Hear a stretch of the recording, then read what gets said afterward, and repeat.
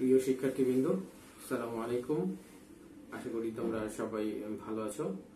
করোনার এই মহামারীতে তোমরা ঘরে বসে পড়ালেখা করতেছো, আশা করব। আমি আজকে তোমাদেরকে ষষ্ঠ পর্বের ইন্ডাস্ট্রিয়াল ম্যানেজমেন্ট নিয়ে কথা বলব।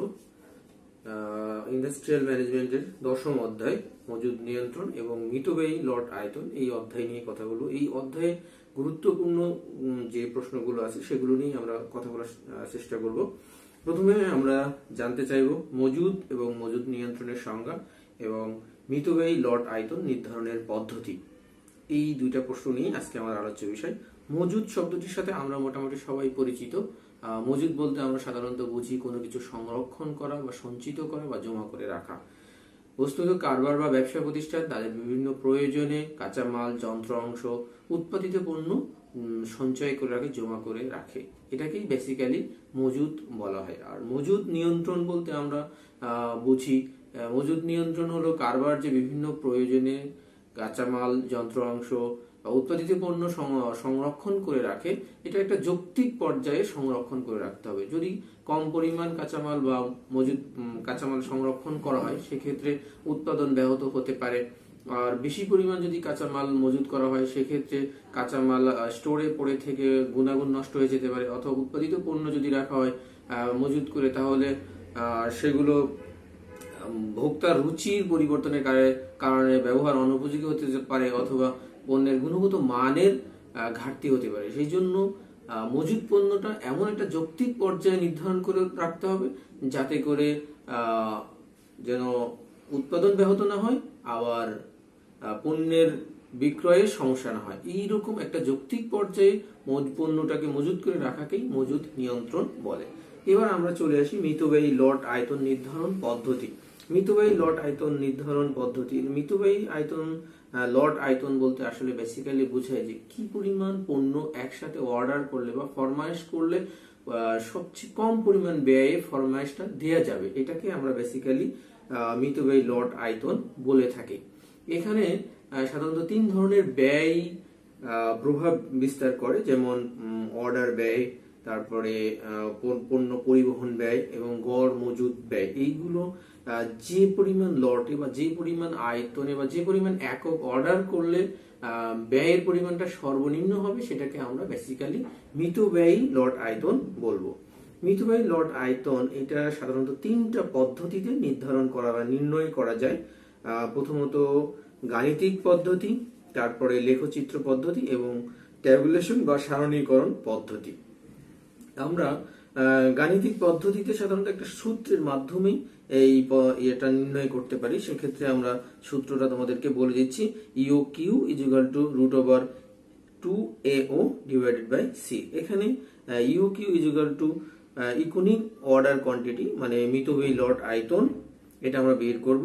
আর A is equal to annual demand সারা বছরে আমার কি পরিমাণ পণ্যের প্রয়োজন পড়বে সেটাই হলো অ্যানুয়াল ডিমান্ড আর ও হলো অর্ডারিং কস্ট যে একটা অর্ডার দিতে কি পরিমাণ কস্ট হবে, ব্যয় হবে, সেটা হলো অর্ডারিং কস্ট আর সি হলো ক্যারিং কস্ট যে পণ্য বহন করার জন্য যে পরিমাণ ব্যয় হয়, সেটা হলো এই ক্যারিং কস্ট এই তথ্যগুলো বা এই যে আমরা যেগুলো দিয়ে সংজ্ঞায়িত করেছি, এগুলো বিভিন্ন বই, বিভিন্ন ভাবে বিভিন্ন সিম্বল দিয়ে সংজ্ঞায়িত করছে। তোমাদের যেটা সুইটেবল মনে হবে সেটা তোমরা গ্রহণ করতে পারো। তা আমরা এখন একটা অঙ্কে চলে যাই। সেই অঙ্ক থেকে আমরা এটা সমাধান করার চেষ্টা করব। দেখো, আমরা একটা অঙ্কের কথা বলি। একটি কারখানায় একক প্রতি এক দশমিক দুই পাঁচ টাকা দামের চব্বিশ হাজার একক কাঁচামালের প্রয়োজন হয় বছরে। প্রত্যেক অর্ডার খরচ পঁচিশ টাকা এবং প্রতি বছর গড় মজুদের উপর বহন খরচ হয় ছয় পার্সেন্ট মিতব্যয়ী অর্ডার আয়তন কত এবং কাঁচামালের ব্যয় সহ মোট মজুদ ব্যয় নির্ণয় করো। এখানে আমরা যদি সূত্রে আমরা এখানে যদি বসাই ফেলি যে এখানে কিন্তু অ্যানুয়াল ডিমান্ড আমরা ইকোনমিক অর্ডার কোয়ান্টিটিটা নির্ণয় করব। এই জন্য আমরা এখানে হট চিহ্ন দিয়ে রেখেছি এবং অ্যানুয়াল ডিমান্ড অ্যানুয়াল ডিমান্ড মানে বাৎসরিক যে চাহিদা, সেখানে কিন্তু বলা আছে যে চব্বিশ হাজার একক বাৎসরিক চাহিদা, সেটা আমরা লিখে ফেলেছি। এবং প্রত্যেক অর্ডারের কস্ট হয় পঁচিশ টাকা, সেটা কিন্তু আমরা এখানে লিখেছি অর্ডারিং কস্ট পঁচিশ টাকা। ক্যারিং কস্ট ক্যারিং কস্টের কথা বলা আছে ছয় পার্সেন্ট সাধারণত ক্যারিং কস্টটা পণ্যের যে ক্রয় মূল্য আছে, তার উপর ছয় পার্সেন্ট ধরতে হবে।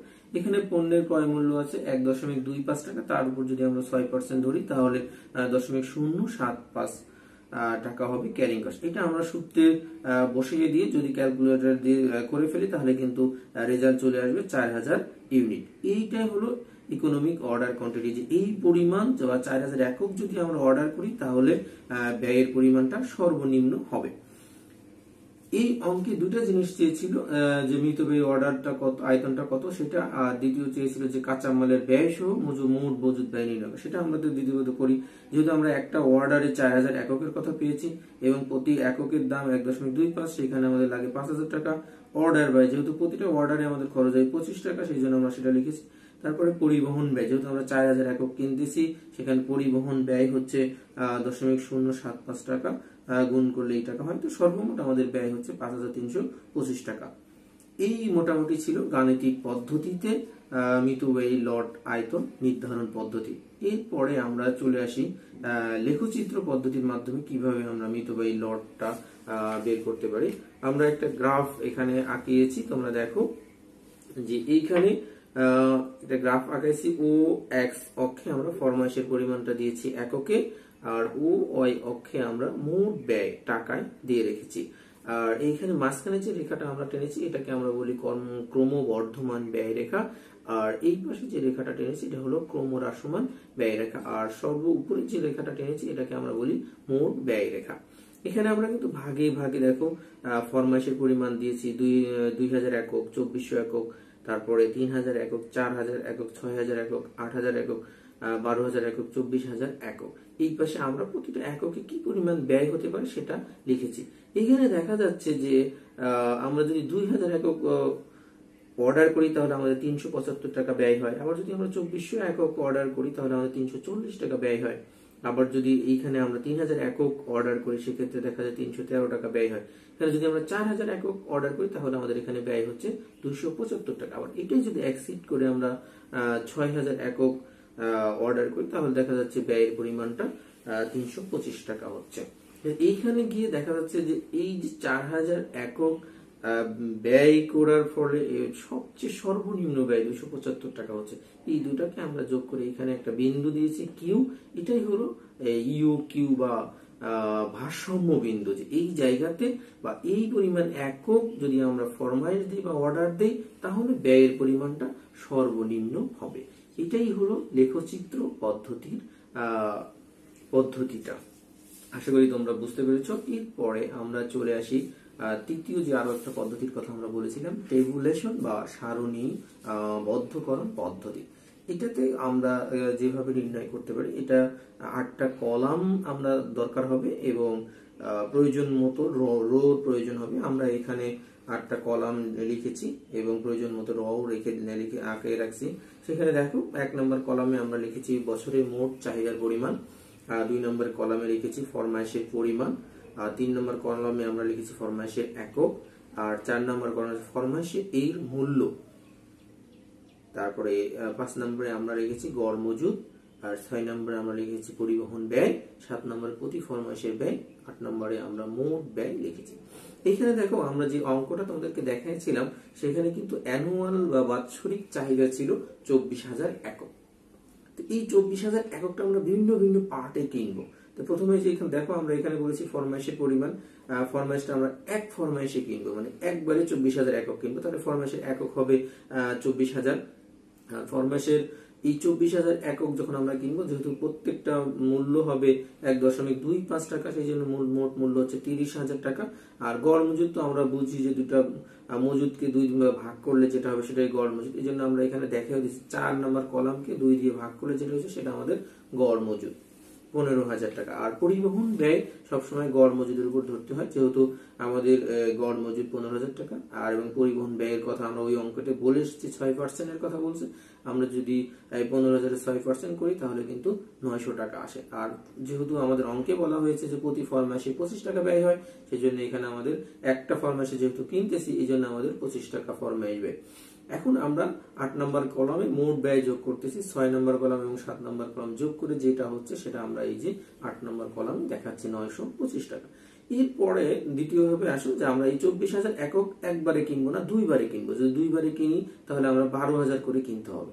তাহলে বারো দুইবারে কিনতেছি, তাহলে বারো হাজার একক এটার মূল্য আসবে পনেরো হাজার টাকা, আর গড় মজুদ হবে পনেরোর অর্ধেক সাত হাজার পাঁচশো টাকা, আর পরিবহন ব্যয় সাত হাজার পাঁচশোর উপরে যদি আমরা ছয় পার্সেন্ট ধরি, তাহলে চারশো পঞ্চাশ আর প্রতি ফর্মের যেহেতু আমরা এই চব্বিশ হাজার একক দুই ভাবে দুইবারে কিনবো, তাহলে কিন্তু আমাদের দুইটা অর্ডার দিতে হবে। এই জন্য ফরমাইশ ব্যয়টা কিন্তু দুইবার হবে। এই জন্য পঁচিশ দুগুণ পঞ্চাশ, এই যে পঞ্চাশ টাকা ফরমাইশ ব্যয় হয়ে গেছে। আমরা ছয় এবং সাত যোগ করলাম। যোগ করার ফলে এখানে আটশো টাকা হলো। এবার আমরা এই যদি চব্বিশ এককটা আরও বেশি ভেঙে কিনি, যেটা আমরা তিনবারে কিনবো, তিন আটটা চব্বিশ, তিনবার কিনবো তাহলে আমরা যদি আট হাজার একক কিনি, আট হাজার এককের মূল্য আমাদের দশ হাজার টাকা হবে, গড় মজুদ পাঁচ হাজার। আর এই পাঁচ হাজার টাকার পরিবহন ব্যয় তিনশো টাকা। আর যেহেতু আমরা তিনবার কিনতেছি বা তিন ফরমাইশে কিনতেছি, এই জন্য আমাদের ফরমাইশ ব্যয় হবে তিন পঁচিশ পঁচাত্তর টাকা। এবার আমরা যদি ছয় এবং সাত নম্বর কলম যোগ করি, তাহলে আমাদের মোট ব্যয় হয় তিনশো পঁচাত্তর টাকা। এরপরে আমরা যদি চিন্তা করি যে না, আমরা তিন ভাবে না, আমরা চারবার অর্ডার দিয়ে কিনবো, তাহলে চারবার অর্ডার দিয়ে চব্বিশ হাজার টাকাকে আমরা চারবার ভাগ করলে তো ছয় হাজার টাকা হয়। তা ছয় হাজার একক হয়। এই ছয় হাজার একক আমরা করে কিনতে চাচ্ছি, তাহলে ছয় হাজার এককের মূল্য হচ্ছে সাত হাজার পাঁচশো টাকা। মজুরি তিন হাজার সাতশো পঞ্চাশ পরিবহন ব্যয় এই তিন হাজার সাতশো পঞ্চাশের উপর ছয় পার্সেন্ট ধরলে দুশো পঁচিশ। আর যেহেতু আমরা চারটা অর্ডার দিয়ে কিনতেছি বা চারটা ফরমাইশে কিনতেছি, তাহলে চারটা ফরমাইশের ব্যয় কিন্তু চার পঁচিশ একশো টাকা। তাহলে আমরা এবার যে ছয় নম্বর কলাম এবং সাত নম্বর কলাম যোগ করলে এখানে তিনশো পঁচিশ টাকা হচ্ছে। এরপরে যদি আমরা আরও চিন্তা করি যে না, আমরা চারটা অর্ডারে কিনবো না, আমরা ছয়টা অর্ডারে কিনবো, চার হাজার করে কিনবো, সেক্ষেত্রে তাহলে আমরা চার ছয় চব্বিশ চার হাজার একক কিনতে চাচ্ছি চারবারে কিনবো, তাহলে চার হাজার একক, এটা চার হাজার এককের মূল্য আসবে এক দশমিক দুই পাঁচ দিয়ে পাঁচ হাজার টাকা, আর গড় মজুদ পঁচিশশো টাকা, আর পরিবহন ব্যয় পঁচিশশোর উপরে যদি ছয় পার্সেন্ট ধরো, তাহলে একশো পঞ্চাশ টাকা। যেহেতু আমরা চারবারে মানে ছয় বারে কিনতেছি, তাহলে ছয় পঁচিশ কিন্তু দেড়শো টাকা হচ্ছে আমাদের অর্ডার ব্যয় বা ফরমাইশ ব্যয়। তাহলে দুইটা ব্যয় যদি যোগ করো, তাহলে তুমি দুশো পঁচাত্তর টাকা হবে। এরপরে যদি চিন্তা করো যে না, আমরা ছয় বারে কিনবো না, আমরা আট বারে কিনবো আট বার যদি কিনতে চাও, তাহলে তিন আটটা চব্বিশ, তাহলে তিন হাজার একক করে তোমাকে কিনতে হবে। তিন হাজার এককের মূল্য আসবে তিন হাজার সাতশো পঞ্চাশ টাকা। আর গড় হবে আঠারোশো পঁচাত্তর টাকা। আর পরিবহন ব্যয় এই আঠারোশো পঁচাত্তরের উপর যদি ছয় পার্সেন্ট ধরো, তাহলে একশো তেরোশো টাকা হচ্ছে পরিবহন ব্যয় ব্যয়। আর যেহেতু আমরা আটটা অর্ডার দিয়ে কিনতেছি বা আটটা ফরমাইশে কিনতেছি, তাহলে প্রতি ফরমাইশ যেহেতু পঁচিশ টাকা করে ব্যয় হয়, তাহলে সেক্ষেত্রে আমাদের আটটা ফরমাইশে দুশো টাকা ব্যয় হবে। এই ছয় নাম্বার এবং সাত নাম্বার কলাম যদি আমরা যোগ করি, তাহলে তিনশো তেরো টাকা। একইভাবে তোমরা আট বারে কিনতে চাও, দশ বারে কিনতে চাও, বারো বারে কিনতে চাও, একইভাবে আমরা করে ফেললাম। এখন আমরা যদি এই ব্যয়কে অ্যানালাইসিস করে দেখি যে এখানে কোন পরিমাণ এককে ব্যয়ের পরিমাণ সবচেয়ে কম হচ্ছে, তাহলে কিন্তু আমরা দেখতে পাচ্ছি যে একবারে কিনলে নয়শো পঁচিশ টাকা হচ্ছে। যদি আমরা দুইবার কিনি, পাঁচশো টাকা হচ্ছে। তিনবারে কিনি, তাহলে আমার তিনশো পঁচাত্তর টাকা চারবারে কিনি, তাহলে আমার তিনশো পঁচিশ টাকা হচ্ছে। আর ছয়বারে কিনি বা ছয় অর্ডার দিয়ে কিনি, চার হাজার একক করে যদি কিনি, তাহলে দুশো পঁচাত্তর টাকা হচ্ছে। এবার যদি আমরা তিন হাজার করে আট বার কিনি, তাহলে আমাদের ব্যয় আসছে তিনশো তেরো টাকা। আবার যদি আমরা চব্বিশশো করে দশ বারে কিনি, তাহলে আমাদের ব্যয় আসতেছে তিনশো চল্লিশ টাকা।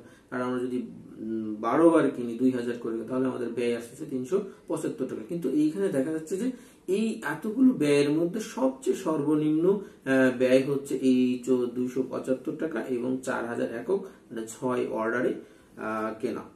এটা হলো এই যে ছয় অর্ডারে চার হাজার একক করে পণ্য কিনলে মজুদ ব্যয়টা মানে ফরমাইশ ব্যয়টা সবচেয়ে কম হবে বা সর্বনিম্ন হবে, এটাই হলো এই চার হাজার এককটাই হলো ইও কিউ বা ইকোনমিক অর্ডার কোয়ান্টিটি বা মিতব্যয়ী লট পরিমাণ। এই হলো অবস্থা। আশা করি তোমরা আমার এই ভিডিও টিউটোরিয়ালটা বুঝতে পেরেছ। আজকে এই পর্যন্তই। সামনে আরও নতুন ক্লাস নিয়ে আমরা আসব। যদি কোনো প্রবলেম তোমাদের এই অধ্যায়ে বা এই আলোচনার মধ্যে হয়ে থাকে, তাহলে অবশ্যই আমার সাথে যোগাযোগ করবে। আর তোমরা সবাই ভালো থাকবে, সুস্থ থাকবে, স্বাস্থ্যবিধি মেনে চলবে, ঘরে থাকবে এবং পড়ালেখা করবে। এই প্রত্যাশায় আজকের মতো এখানে শেষ। আল্লাহ হাফেজ, সামনে আবার দেখা হবে।